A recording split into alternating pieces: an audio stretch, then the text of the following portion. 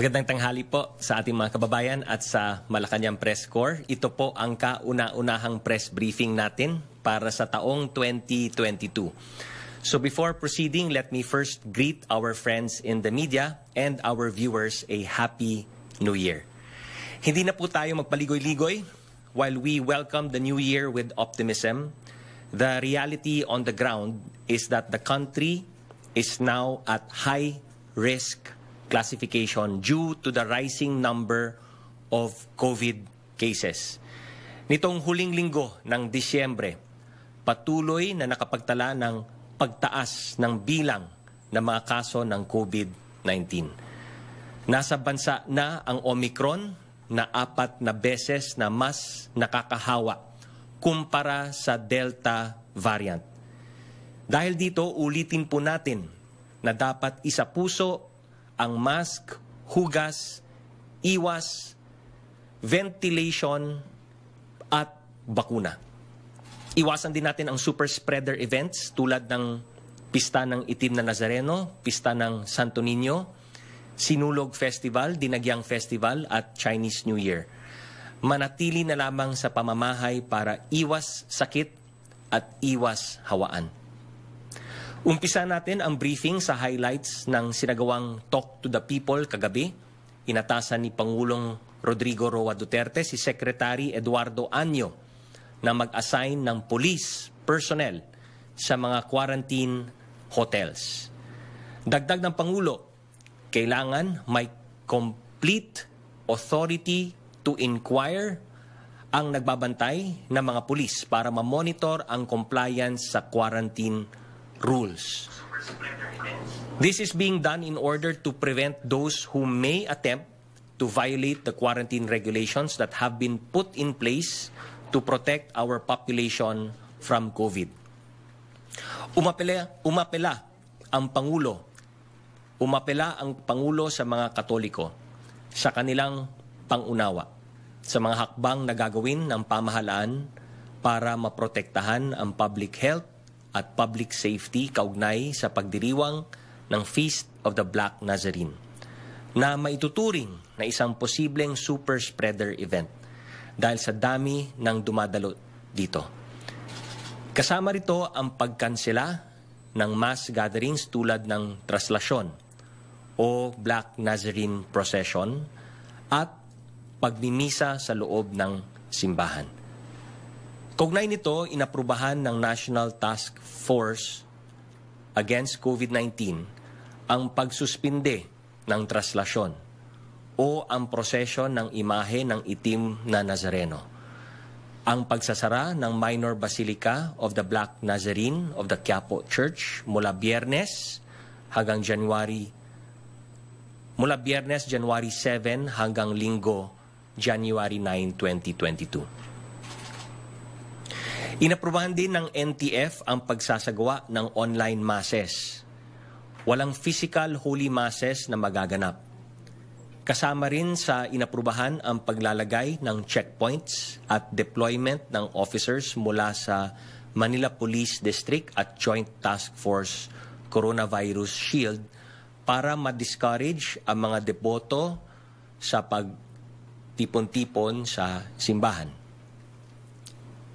Samantala, inatasan ng Pangulo ang National Bureau of Investigation na imbestigahan ang mga kaso ng posibleng paglabag ng quarantine protocols na pinapatupad ng pamahalaan mula pagdating sa airport hanggang sa facility, hotel o bahay. Inirekomenda naman kagabi ni Presidential Advisor on COVID-19 Response and Testing czar Secretary Vivencio Vince Dizon sa Talk to the People address na i-adopt nationwide ang Metro Manila Council resolution na i-restrict ang movement ng unvaccinated ng unvaccinated kasama ang mga lugar na wala pang surge. Kaugnay nito, naglabas ng memorandum ang Regional Task Force COVID-19 ng Calabarzon na naglilimita sa paggalaw ng unvaccinated individuals. Hinihikayat ng RTF Calabarzon ang lahat ng local task forces sa region na i-adapt ang nasabing resolution.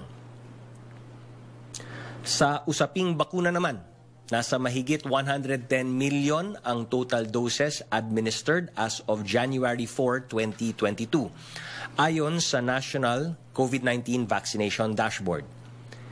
Nasa 79.42% naman ng target population or 61,260,924 ang nakatanggap ng first dose samantalang nasa 65.63% ng ating target population ang fully vaccinated. Let me again reiterate to our unvaccinated kababayans. Tara na at magpabakuna. Huwag na itong ipagpaliban. Lahat ng bakuna ay ligtas, epektibo at libre po. Vaccines are free and have been proven to be safe and effective. The numbers clearly show how these can prevent serious cases of COVID. 85% po ng COVID patients sa ating ICUs or intensive care units ay mga unvaccinated. Kaya malaking tulong ang bakuna para maprotektahan kayo laban sa COVID-19 at ang mga variant nito. Malinaw po ang ebidensya. Ito ang ating pinakamabisang armas kontra COVID-19. Sa mga fully vaccinated na, ischedule nyo na po ang booster shots ninyo para sa dagdag proteksyon there are supplies available so much so that there are now even LGUs that offer booster shots to non-residents. Pumunta naman po tayo sa COVID-19 update. Ayon sa January 4, 2022 COVID-19 case bulletin ng DOH or Department of Health, nasa 5,434 ang bagong kaso ng COVID sa bansa habang nasa 26.5% ang ating positivity rate. At habang patuloy ang pagtaas ng mga kaso, dapat doble po ang gawing pag-iingat. Lalo sa mga pumapasok sa trabaho, ugaliin na mag-ingat buhay para sa hanap buhay. Iwasan nating magtipon sa mga 3 C's, yung mga closed spaces, yung mga crowded spaces, at yung mga close contact settings. Kung hindi ito may iwasan, kagaya ng pagsakay sa public transportation, tiyakin natin na naka-full face mask po tayo. Iwasan din ang pagkikwentuhan habang kumakain during lunch break or during merienda break. Mas safe po kumain ng hiwa-hiwalay. Kaya kanya-kanya muna tayong kain, mga kababayan. Now, for other data, Nasa 97.2% ang porsyento ng gumaling. Nasa mahigit 2.77 million na po ang nakarecover. Ngunit, malungkot naman naming binabalita sa inyo na kahapon po ay merong labing walo ang naidagdag sa bilang ng mga pumanaw dahil sa coronavirus. Nasa 1.8% ang ating fatality rate at ito ay nananatiling mas mababa sa 2% global average. Ngayon, kung may concern or emergency kayo na related sa COVID-19, maaari ninyong tawagan ang mga sumusunod na hotline na naka-flash po sa inyong mga screen. Ayan po. Pakitake note po ng mga numbers at hotline numbers for COVID-19 sa inyong mga lugar at nandyan din po ang ating One COVID Referral Center.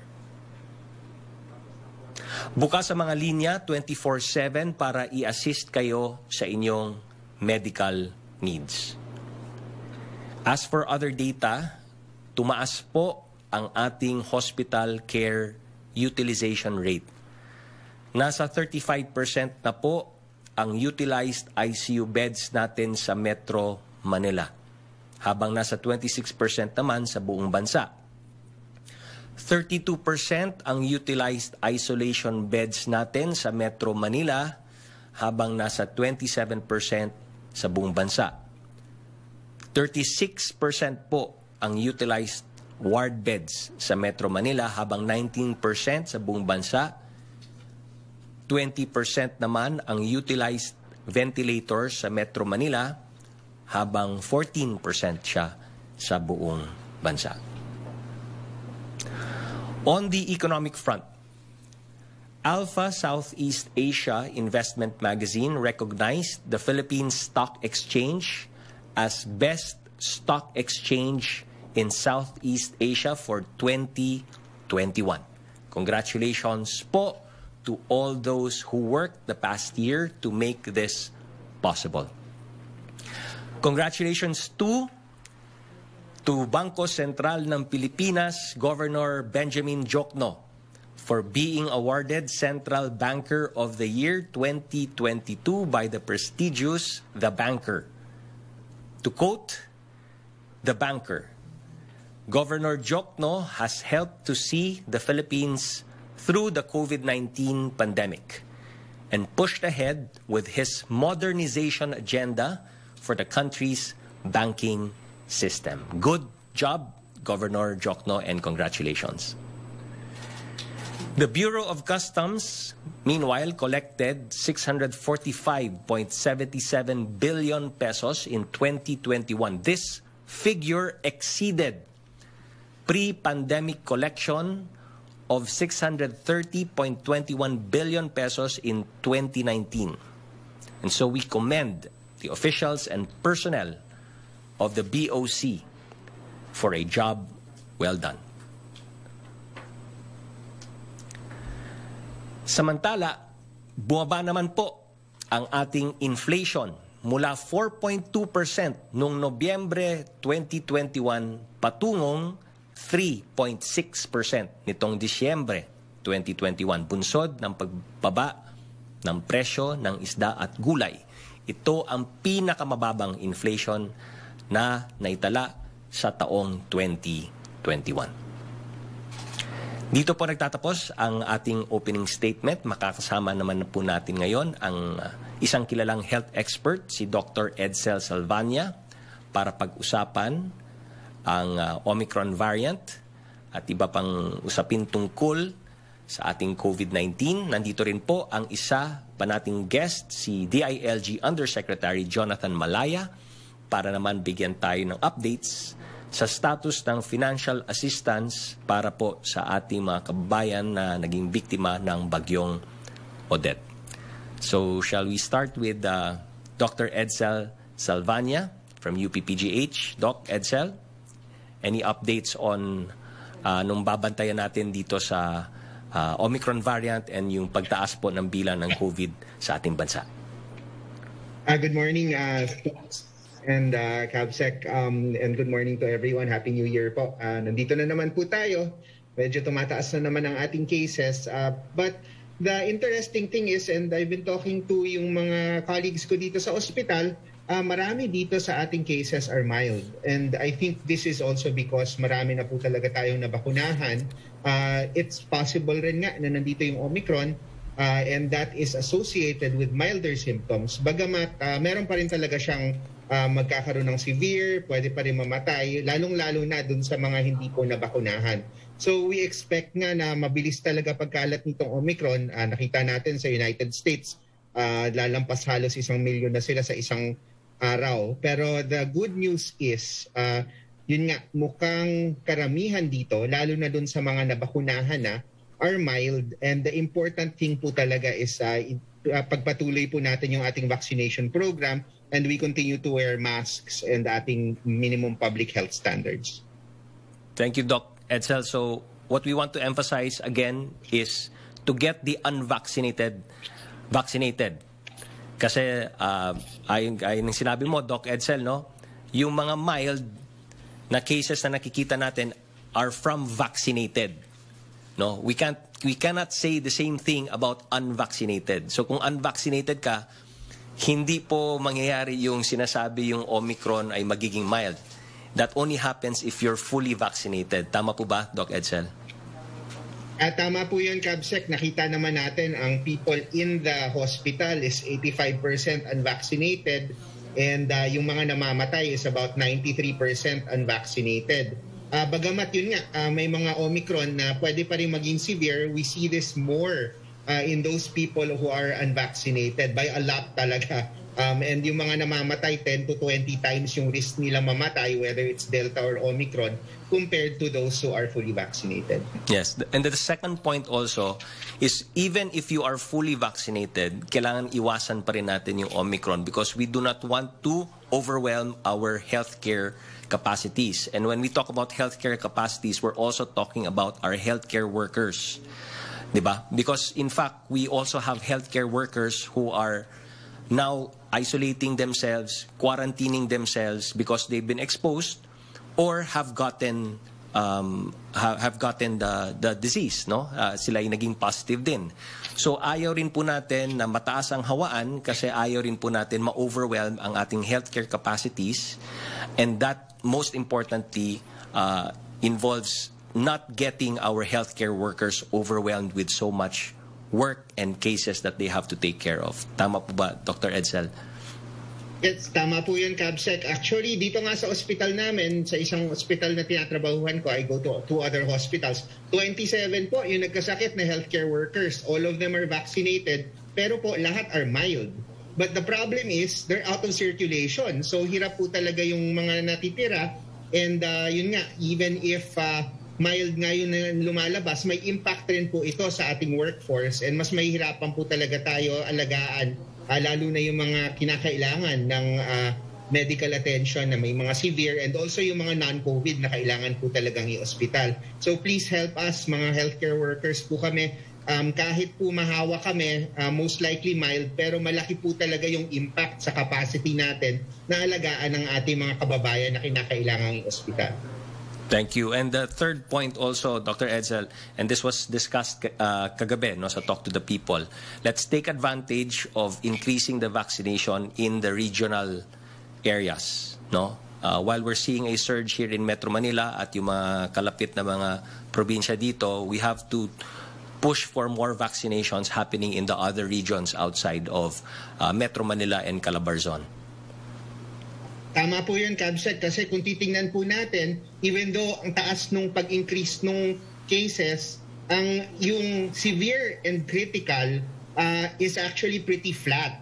And yung the reason why tumataas talaga ng todo-todo yung ating healthcare utilization is because nag-admit pa rin kahit papano ng mild and moderate eh. Uh, when in fact we can do home isolation or we can do uh, facility-based sa mga PTMFs natin na hindi naman kailangan yung level of care na ginagawa sa ospital. So we have to triage properly. And of course, dun sa regions na mababa pa yung vaccination rate, uh, we really have to catch up. We have to use this time para kung tumama na sa kanila itong Omicron wave, uh, magiging mild pa rin kagaya nung nangyayari dito so far sa Metro Manila. Yes. So we'd like to emphasize again no that in Metro Manila the reason why um, we're we're seeing what we're seeing, meaning to say, hospital care utilization is not increasing as steeply as um, as the cases are rising, is because uh, karamihan ng mga kababayan natin sa NCR are fully vaccinated. In fact, doing boosters already. We cannot say the same thing sa ibang mga regions, no? We're seeing sa Metro Manila, mga 90%, 100% na uh, vaccinated. Hindi yan the same vaccination rate that we're seeing in other regions. So we need to step up yung vaccination in other regions so that if Omicron or whatever variant goes uh, and is spread dun sa mga regions, that we won't see an overwhelming uh, number of uh, cases happening in the hospitals. Yes po, tama po, Cabsec. Uh, very important we use whatever time we have left uh, to protect as many people as possible. And we continue to protect everyone and also yung healthcare workers po natin, supportahan po natin lagi.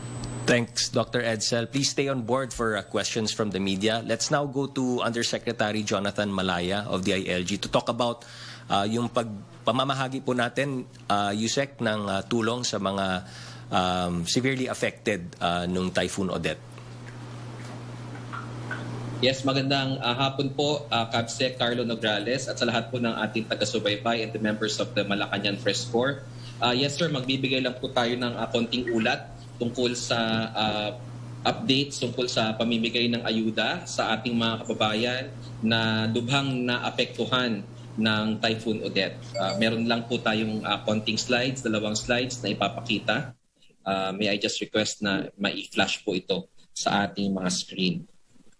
So, uh, makikita po natin uh, sa ating screen ngayon yung uh, timeline ng ating uh, pamimigay ng ayuda uh, sa ating mga kababayan Uh, okay. Yes. So makikita po natin sa timeline na yan na nagsimula tayo nung uh, December 29 ay uh, nag-issue ng uh, local budget circular ang uh, D- ang DBM para sa pag-release ng pondo uh, para sa mga nasalanta ng uh, Typhoon Odette. At immediately thereafter, the next day on December 30, ay nagkaroon din ng uh, pagpipirma and release of the Joint Memorandum Circular uh, ng DILG, ng DSWD at ng Department of National Defense. At dito po sa Joint Memorandum Circular na ito, uh, nailagay natin yung lahat ng guidelines na kailangan sundin ng ating uh, mga implementing agencies for the distribution of the ayuda. Okay? So kumpleto na po lahat ng guidelines on the part of the uh, national government at uh, ang inaantay na lang po natin is of course yung uh, distribution ng pondo nito sa ating mga kababayan. So uh, as of uh, Monday, um, we checked with the different LGUs at uh, na tinggap na po nila yung pondong nanggagaling sa local gov- nanggagaling sa national government So nasa kamay na po ng mga LGUs ang pondong ito at nagsagawa po tayo ng orientation no regarding the distribution para may paliwanag sa mga local government units kung ano yung mga pamantayang kanilang kailangan sundin sa pamimigay ng ayuda. At binigyan po natin ng 15 days uh, mula sa pagsisimula ng kanilang pamimigay ang mga LGUs na tapusin at kumpletuhin yung uh, distribution nito sa kanilang mga kababayan. So ito po yung ilan sa mga uh, guidelines natin. Again, it's uh, 1,000 uh, to every qualified individual, maximum 5,000 per family. At ang mga target beneficiaries po natin are yung mga low income and severely affected individuals sa iba't ibang uh, uh, local government units. At yung uh, listahan po ng mga eligible beneficiaries na siyang uh, gagawa nito ay ang local government unit ay kailangan po ay ma-post sa social media or kung wala kuryente pa rin hanggang ngayon sa lugar na yon ay kahit i-post la sa, sa mga uh, conspicuous places na tinatawag sa barangay o sa munisipyo bago magsimula ang pamimigay. At uh, meron din po tayong uh, creation or pagtatalaga ng isang grievance and appeals committee sa level ng local government unit para maaksyonan kung meron mang mga reklamo sa ating mga kababayan. At uh, dahil na rin po sa kautusan ng ating Pangulo na tumulong ang Philippine National Police and Armed Forces of the Philippines na magbigay ng additional manpower ay nagbigay na rin po ng uh, kautusan si Secretary Anyo sa Philippine National Police sa lahat ng rehiyon apektado ng bagyong Odette na magtalaga ng karagdagang uh, personnel kung kinakailangan para maghatid ng tulong sa mga malalayong lugar. Next slide. So ito naman pong uh, susunod na slide, ito naman po yung uh, budget na naibaba na natin sa iba't ibang uh, munisipyo at lungsod na lubhang naapektuhan ng bagyong Odette. So sa Mimaropa, sa Mimaropa po, meron tayong tatlong probinsya and 21 uh, municipalities na napadalhan ng uh, pondong pinansyal mula sa national government for a total of 198 million.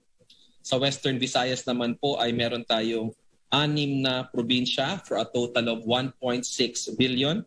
Sa Central Visayas naman po, meron tayong apat na probinsya uh, for a total of 1 almost uh, more than 1 billion. Sa Eastern Visayas, meron po tayong apat na probinsya for uh, 964 uh, million naman po.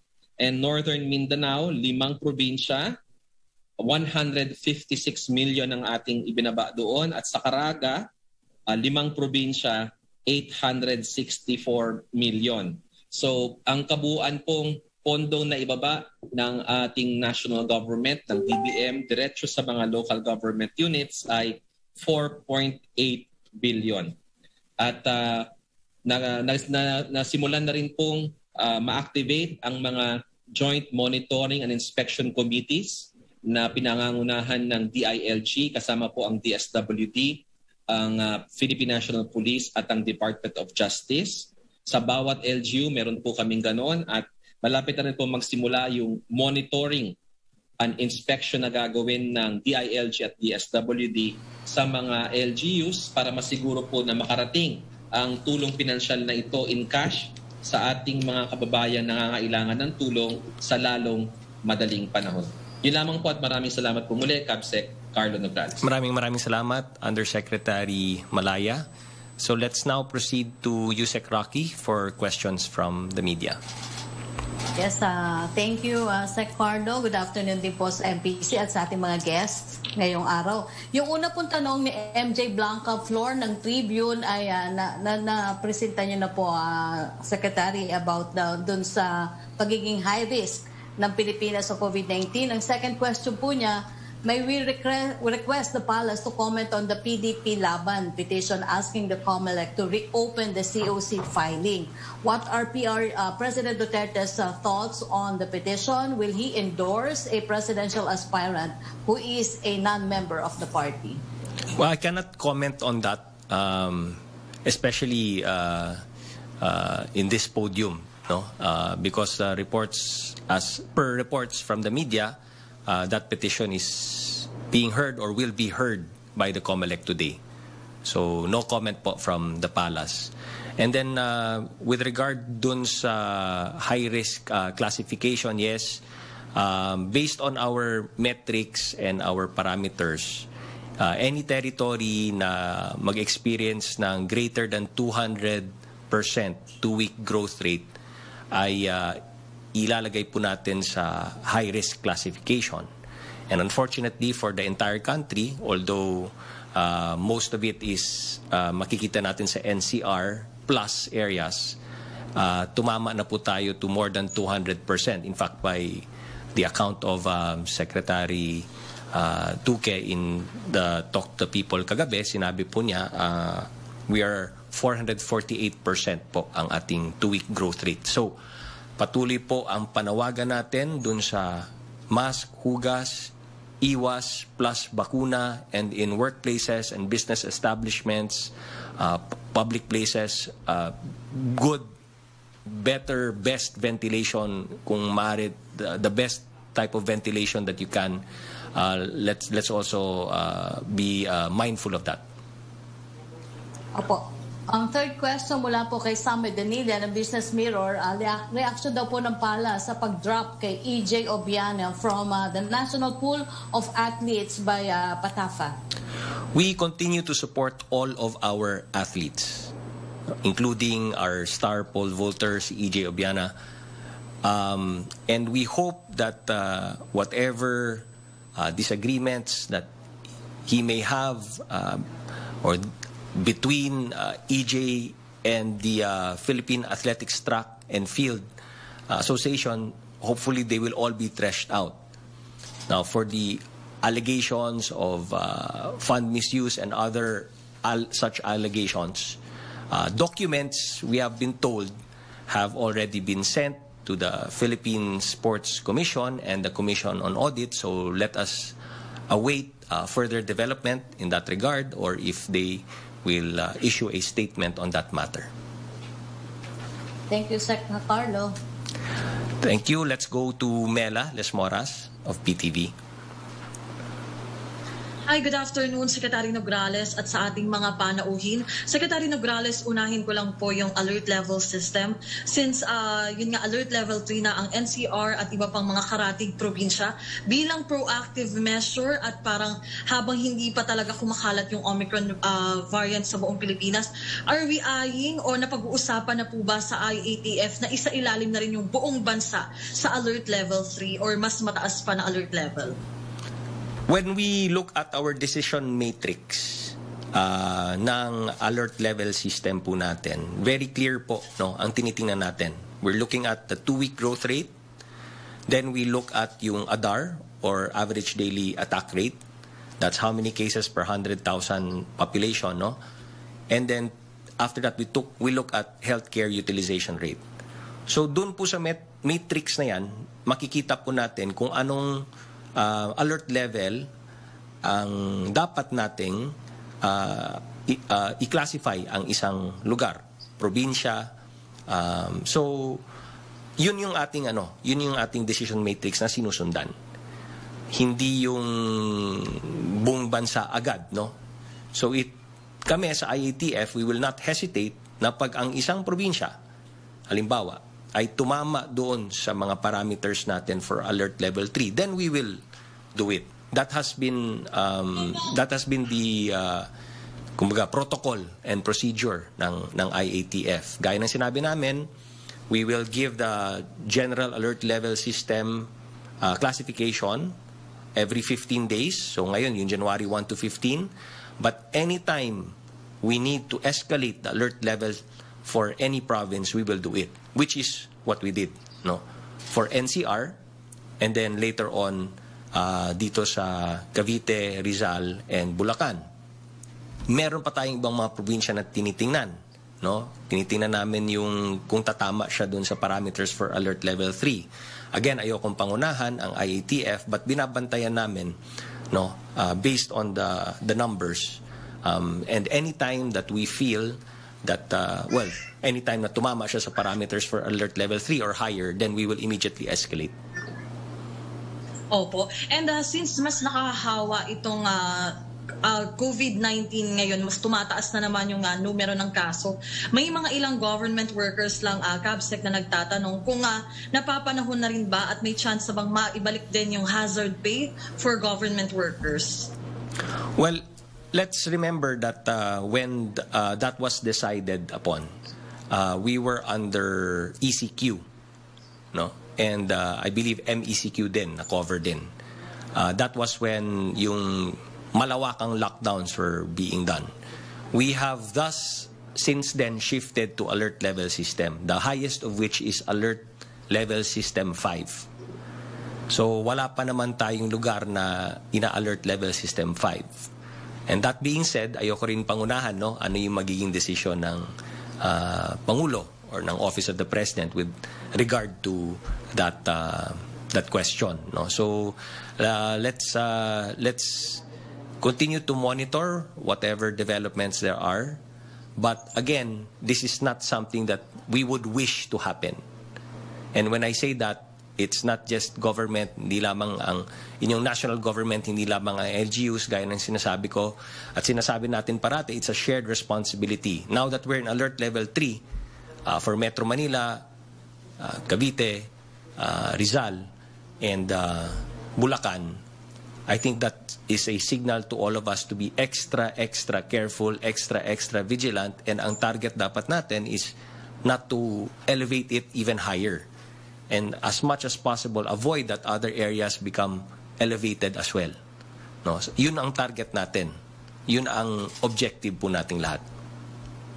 Opo. At panghuli na lamang, Cabsec, uh, sa mga aktibidad lang ni Pangulong Duterte, may mga inaasahan pa po ba tayong mga aktibidad niya o pupuntahang lugar? At sa Talk to the People kasi sabi po niya, dadalawin niya ulit ngayong January yung mga naapektuhan ng Typhoon Odette. Bibisitahan niya ulit. Makakaapekto po ba yung tumataas na COVID-19 cases sa movement ni Pangulong Duterte? Tuloy-tuloy pa rin po ba itong mga aktibidad na ito? Well, obviously, first and foremost, uh, we need to protect no, uh, the President. No? Um, yung kanyang safety, ang kanyang health, di ba? So nandun naman yung mga protocols uh, and procedures na ginagawa. So as much as possible, we have to ensure, while ensuring his safety and his health, uh, we also do not want to limit um, his movements, especially kung gusto niyang bumisita rin uh, sa mga lugar, gaya ng sinabi niya kagabi, um, bumisita muli sa mga naapektuhan ng Typhoon Odette. At yung iba pang mga activities na gusto rin gawin ni Pangulo. No? Uh, as, as he is known to be very active, uh, very active president, uh, and he wants to be always on the ground. He always wants to be with people. So uh, we're putting the necessary protocols to protect him while as much as possible, not limiting what he wants to do so that he can effectively govern as our chief executive. Uh, so the schedules, uh, tingnan po natin, narinig natin kagabi no, na gusto niyang bumisita muli sa mga lugar na tinamaan ng Typhoon Odette. And uh, we are currently, um, kumbaga, planning his uh, schedule. Okay, maraming salamat po Kabsec Nograles at sa ating mga panauhin. Maraming salamat, Nela. Let's go back to Yusek Rocky. Yes, thank you, uh, uh, Sec Carlo. Yung tanong po ni Lenes Capanti ng GMA News Online, na, na tanong na po ni Medan Les Moras. Ang second question niya uh, would like to ask Palace comment on this. Uh, CHR will pursue all creation of Human Rights Institute via legislation. Reaction daw po ng Palace. Yes, um, by, by all means, um, if they want to pursue legislation, then let them do so.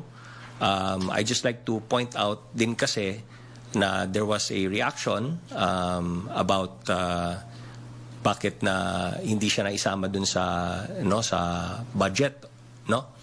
Um, may I um, may I may I state that uh, the reason being is that as per DBM uh, inclusion of projects in the national budget budget assumes first yung project readiness no? Secondly, that uh, may complete estimates on costing, uh, complete details on manpower and manning requirements. Um, and then, of course, tinitingnan din po ng DBM yung budget utilization uh, ng agency.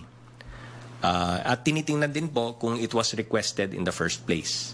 Uh, meron tayong budget call na sinasagawa. Dapat dun po sa budget call pa lamang ay nire-request na po ito.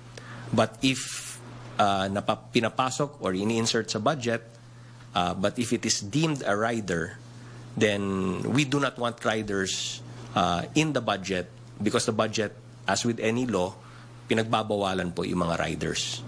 So it's much better if they pursue legislation separately from a national budget. That being said, I'd also like to point out that uh, under the administration of President Duterte, the CHR's budget no, has uh, been more than doubled. If we look at the records, from 439 million peso budget um, by the preceding administration in year 2016, the budget of the Commission on Human Rights has enjoyed annual increases since then. And so much so that the CHR's budget for 2021 was at 907 uh, million pesos. So it's been enjoying an increase in their budget annually since the start of the Duterte administration. Opo. Uh, uh, Secretary Carl, uh, Carlo, itanong ko na lang po muna yung tanong ni Joe Montemayor uh, asking for confirmation na Laguna daw po is now under alert level 3. Any other areas po that are now under new alert level? We will be making the announcements. No, It goes through a process. Uh, IATF has to decide. I, IATF, uh, by its very nature, is interagency. So dadaan po muna yan sa IATF and then we will make the proper announcements. Uh, as of the moment, I have nothing yet to announce. Uh, as per any development on uh, any alert level system. So hintayin na lang po natin na uh, I or the IATF uh, makes the proper announcement. Opo. Tanong po ni Rose Novenario ng Hataw, pahihintulutan na ba ang pamahalaan yung pagbabalik ng ruta ng ibang bus at jeep upang hindi mahirapan ng commuters at hindi magsiksikan daw po sa limitadong public transport para maiwasan ang pagkalat ng COVID-19. Hindi ba nakikita ng IATF na super spreader ang uh, pinagdaraan ng kalbaryo ng mga obrero araw-araw para lamang makapasok sa trabaho at makauwi sa kanilang pamilya?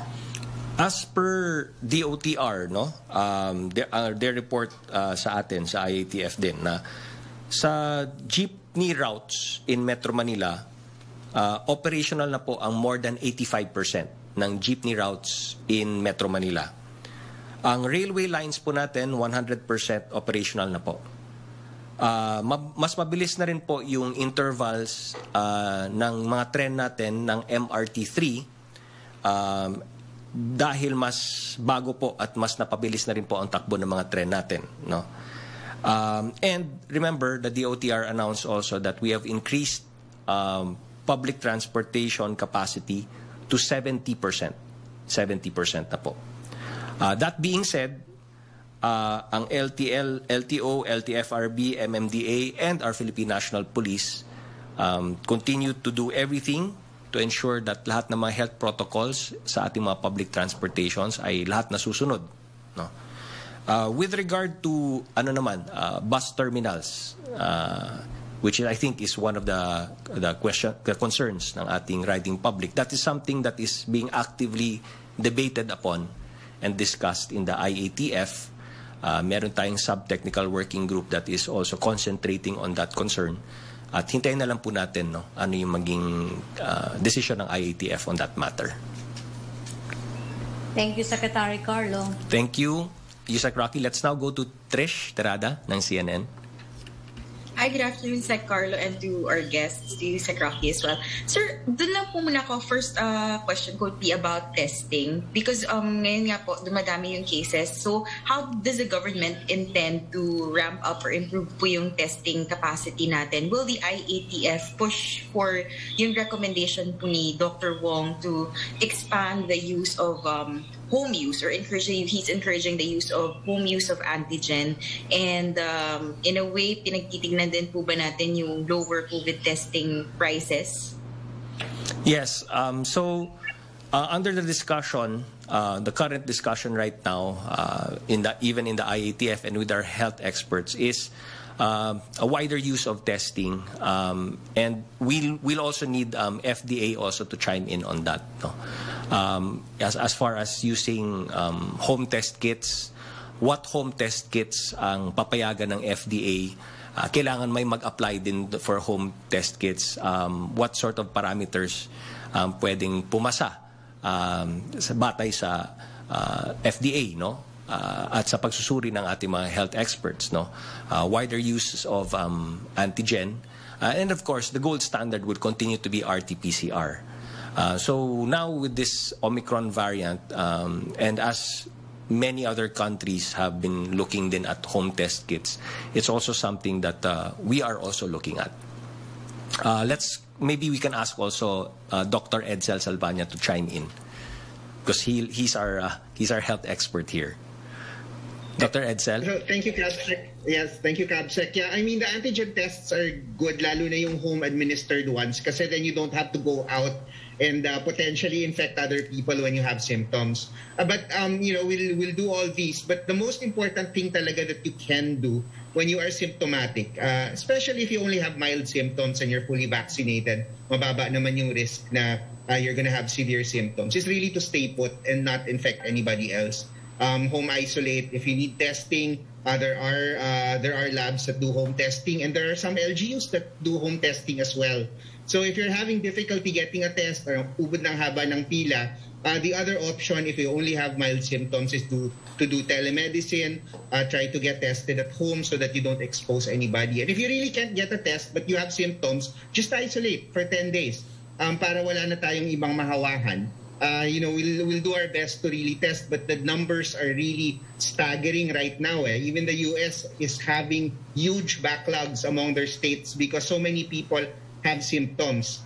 And, uh, you know, whether you're tested or not naman, if you're fully vaccinated, chances are it's going to go away on its own. And you just have to watch out for the warning signs. And of course, there's a lot of telemed available and of course the DOH hotlines.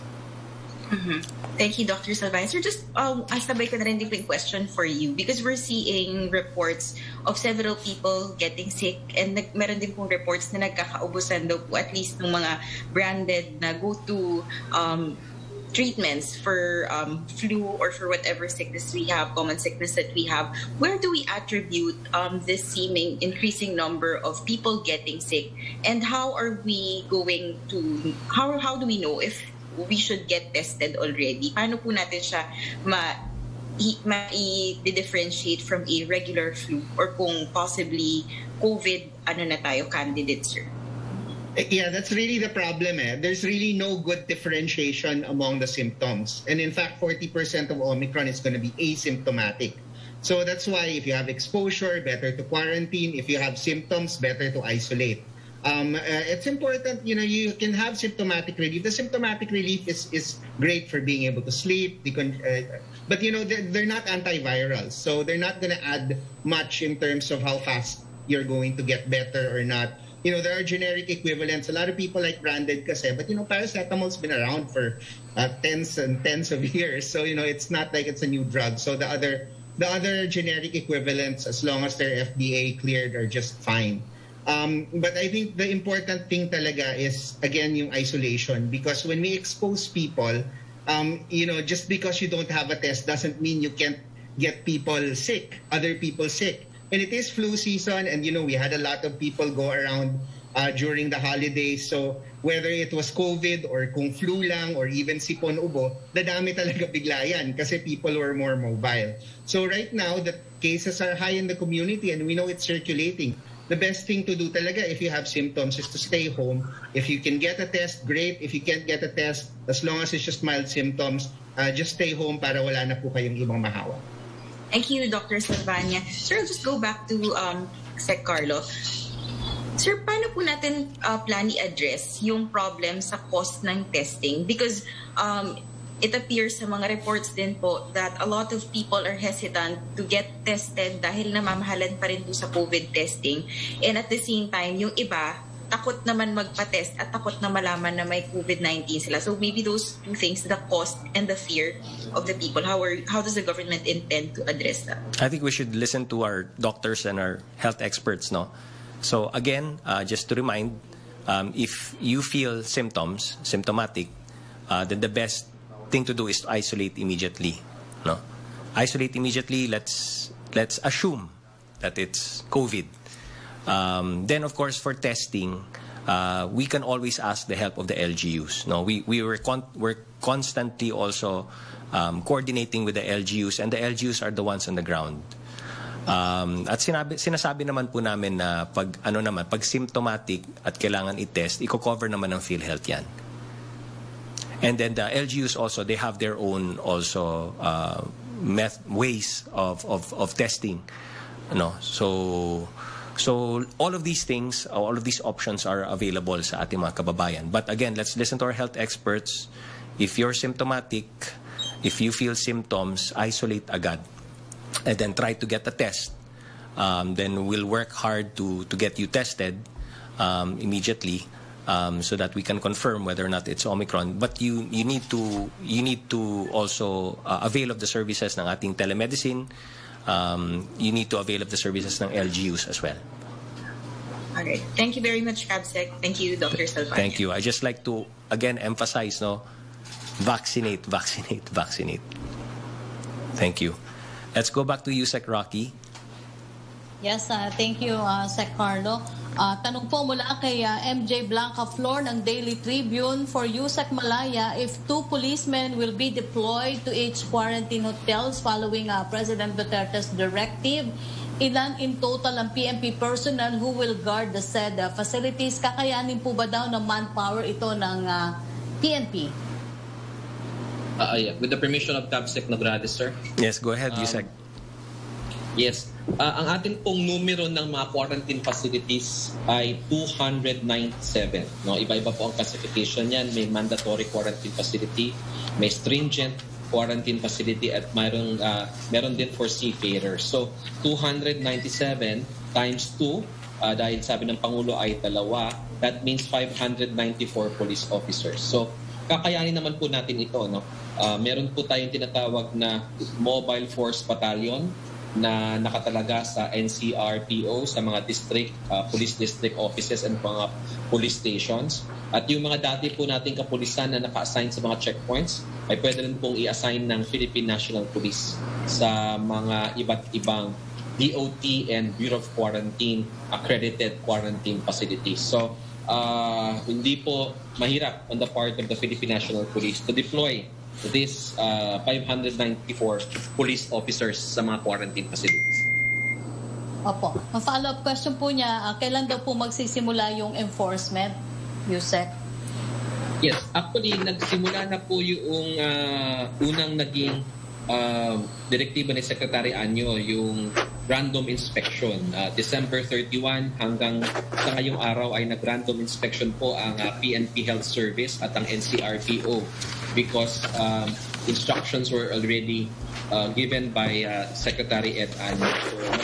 So, facilities around 50 have already been uh, randomly inspected by the Philippine National Police. Uh, pero po since bago lang po ito, uh, bigyan po siguro natin ng isa o dalawang araw ang ating kapulisan para mag-assign ng tao. I would expect baka po bukas ay meron na tayong mga pulis na nakatagal, nakatalaga sa quarantine facilities. Opo. Sek ang uh, tanong po mula kay Jason Rubrico ng SMNI News for uh, Yucat Malaya, uh, will there be a timeline kung kailan dapat uh, maipapasa ng mga Metro Manila LGU yung po daw kanil- kanilang ordinance ukol sa paglimita sa mga galaw ng mga unvaccinated? Kailan ba ang target na ma-implement ito sa Metro Manila?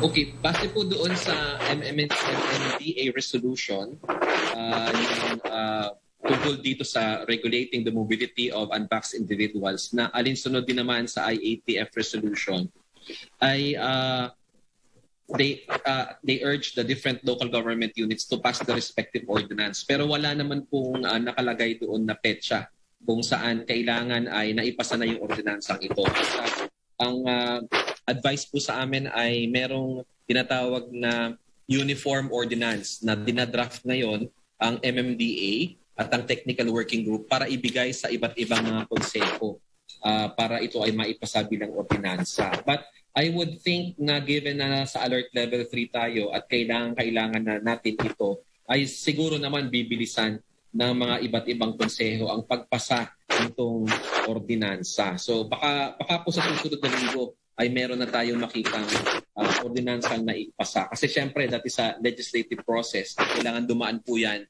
sa proper procedure na nakasaad sa local government code. Thank you, Yusek. Thank you. Thank you, Yusek Malaya. Thank you. Secardo. Thank you, Yusek Rocky. Thank you, Yusek uh, Malaya. Let's now go to Pia Granada from Rappler. Hi, good afternoon. Um, very quickly before my prop my questions, my, my main questions. Uh, for Yusek Malaya, sir, yung 297 quarantine facilities, is this nationwide or just in NCR? Uh, let me check, no? Uh, but uh, kasi this is the list that was given to me by the Bureau of Quarantine. It looks like it's... Uh, kaya, hindi ako nakapaghanda sa tanong mo. uh, okay, I have the list now. Uh, this is uh, Metro Manila. It's Metro Manila. So we still have quarantine facilities outside of Metro Manila. So mas madami po ito. And the directive of the president is not limited to uh, NCR. It's uh, entire country. So we will also deploy police personnel in the quarantine facilities outside of NCR. And we have enough manpower for that? Y- yes, we do. As I mentioned, uh, there's uh, mobile force battalions and mobile force units in every district, province, and region of the country. At doon tayo kumukuha ng mga additional na tao sa mga ganitong uh, public health emergencies and disasters. All right. Um, and then for uh, Cabinet Secretary Nograles, sir, we already saw earlier that the DOT um, revoked accreditation of Berjaya Makati Hotel. Um, but given the president's remarks yesterday, he sounded like he was absolving um, all hotels from any legal liability when it comes to violations of mandatory quarantine. Sir, um, isn't this jumping the gun? And uh, does this mean that other hotels will not be investigated or even Berjaya Makati will not face any legal cases for the breach and quarantine by the by the woman?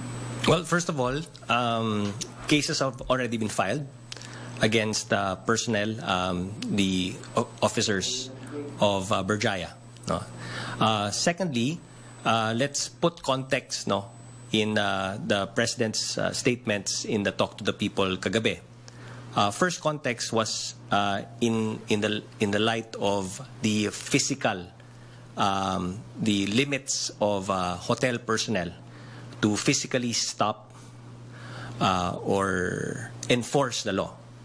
And it was in that context na limited no yung yung maaring gawin ng mga officers or officials or the workers or employees and the manager of the hotel given that context na medyo limited no yung kayang physical enforcement kaya po kinakailangan ng police.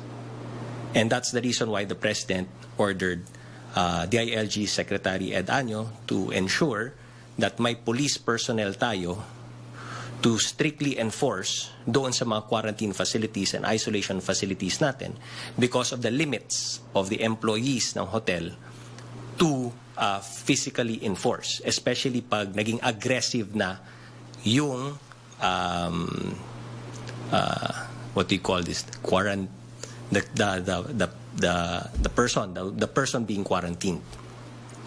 Um, so No uh, also in that also in that context cops, also in that context um, yung sinasabi rin is that duty bound pa rin no? Yung officials of that hotel or quarantine facility to at the very least report any violations of um, those who are supposed to be under quarantine. And uh, if there is uh, negligence in the part or uh, hindi hindi ginawa uh, the omission of the hotel employees or its officers in not reporting. Remember the key word here is yung pagre-report. Uh, because if you the the law itself is the Notifiable Diseases Act no so nandun yung responsibilities and obligations to report uh, those who violate uh, particularly so para sa mga quarantine uh, facilities na they're duty bound to at the very least report uh, in this case as filed by the CIDG and uh, complainants uh, wala talagang pagre-report na ginawa so those are omissions which unfortunately fall under the elements found in the provisions of the law na pinagbabawal na prohibited acts. So, Secretary, the President stands corrected. These hotels can be held legally liable for non-reporting. Um, and, sir, what? How will the President's uh, remarks last night affect the investigations into hotels who are involved in the absentee quarantine modus? You have to ba, sir, yung you have to go back to the conversation between the Secretary of Justice and the President in the talk to the people, and that was very transparent. Uh, and in that conversation, uh, the President agreed, no? Ang and then na-emphasize niya lang eh, yung limitation ng physical enforcement, lalo na pag naging aggressive na yung magva-violate ng quarantine. So that's why you need a law enforcer there in order to prevent um, such uh, aggression or such violations because of the limitations nga of these um, employees of the hotel. It does not uh, remove or absolve them of their um, negligence, the omissions of their act, the non-reporting, uh, and in any case, um, the, the, the cases will be filed, uh, the cases will be uh, prosecuted, uh, and then it will be up to the judge to decide. Okay. Last question, Secretary. Uh, just further on the recommendation of Dr. John Wong about antigen testing. Sir, will the IATF consider subsidizing antigen testing the way that some other governments do that make it more accessible and affordable to the public, lalo na yung home testing? Uh, this is something that's con- con- uh, consistently being discussed, um, especially in light of this Omicron. Um, and, and again, um, we're looking at uh, different um, um, options for us, uh, for the national government, for the LGUs, and even for private individuals. Again, um, it has to pass through FDA. FDA has to approve. Uh, we have to have our health experts to chime in. Um, just to make sure, no, and the reason for this is we have to make sure that the tests being used don't give false negatives or even false positives. Diba? So it, it has to pass through this uh, rigorous process uh, with the health experts, the FDA chiming in, the DOH, um, and then obviously uh, the IATF will have to make a decision about uh, increasing uh, the options for testing uh, for our population.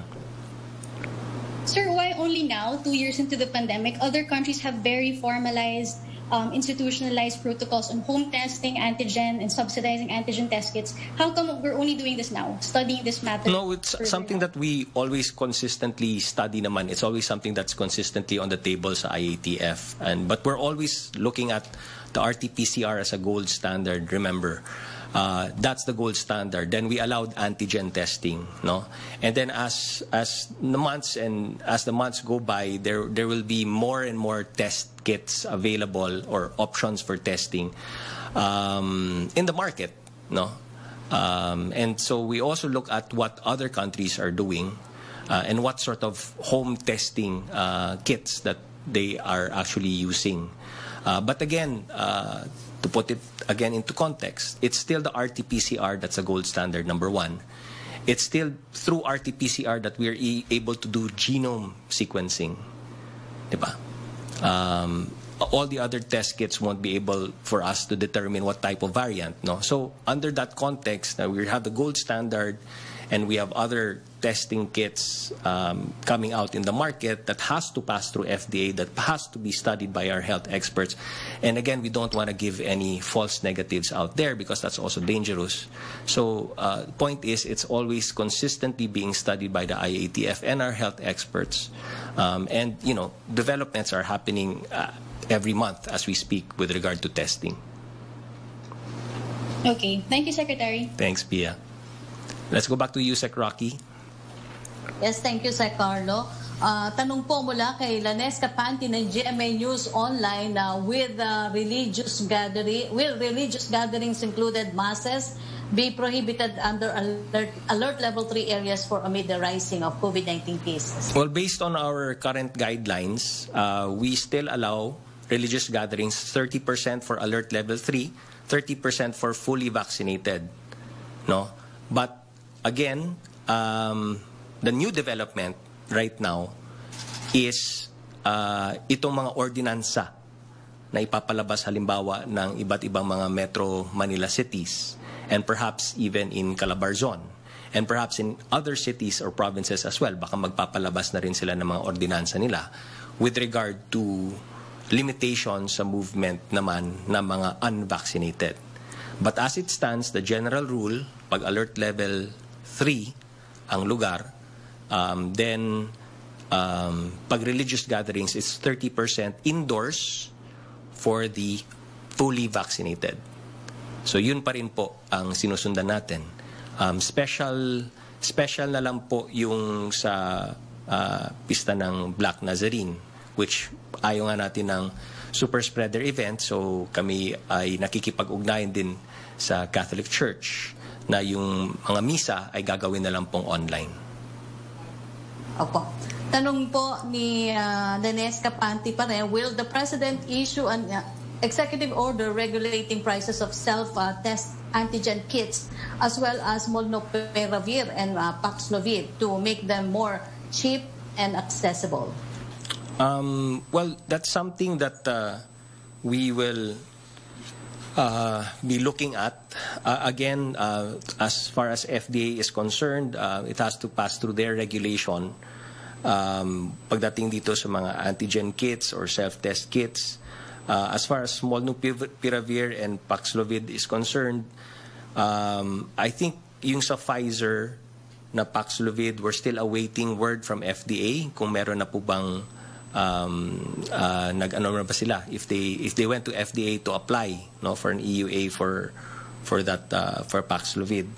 Sa Molnu naman, Molnupiravir, uh, I know may mga LGUs din po na who have already purchased or have already secured. Um, yung sa EO, that's something that uh, I will have to refer to the DOH and the health experts to chime in no uh, before the president even signs an EO kailangan dumaan po yan sa proseso and uh, possibly uh, the DOH will have to um, send its comments uh, with regard to that uh, I don't know if uh, Dr. Edsel Salvania would like to add anything from what I just said Dr. Edsel Uh, yes, Cabsec. Actually, a lot of these meds, uh, yung like for Molnupiravir for for Merck and Paxlovid for Pfizer, um, the uh, the companies have already said that um, at least while nagpa-pandemic, uh, they will minimize lang yung profits from it, and they've actually licensed it to several generic, um, ano, the generic manufacturers. Now it's really up to the generic manufacturers, unfortunately,